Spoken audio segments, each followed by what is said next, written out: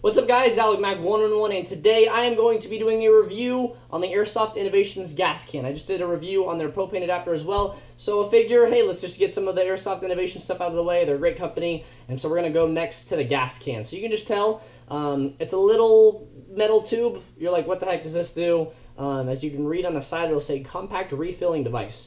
So this is actually the same size, or is designed to be the same or similar size of a 40 mike mike pouch or anything that is a 40 millimeter grenade. So if you're going to throw this in um, one of your pouches, it's designed to be able to use with tornado grenades. If you want to use it for your gas pistol, get probably two more magazine fills, maybe three more magazine fills um, with this. You can actually put a marker on there if you want to use this. Oh, this one's for my gas blowback. This one's for my tornado because there are other um, products. The Tornado is one of their grenades that Airsoft Innovations make, and all of you probably know what an Airsoft Innovations tornado grenade is because they are sweet. They land, they shoot around, they spin, which we'll be doing a separate video on.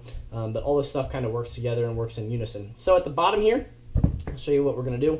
This is just normal propane tank. So we're going to go ahead and vertical right there. This one does not have an O-ring on mine because mine's just a, a test one. So I end up losing the O-ring, but it will have an O-ring. So it will not normally spray like that, but for me it is. I believe actually, I think this thing's already full anyway. I think I was messing around with it. Um, so you'll see there's the top. Um, this metal thing actually protects it, which is really important because um, those tips can kind of get messed up um, if you're hitting them, banging them, your mag against them, trying to be all GMR and mess something up. Um, it just wouldn't be good. So I'm going to go ahead and grab a Tanaka Carnage 8 mag, and we're going to go ahead and use this, which already has gas in it. Like I said, this is full. This is it's very heavy. It's a lot heavier than it normally is. That's one of the reasons why the gas was spraying so much. Um, but we're going to go ahead, we're going to do this. You hear that?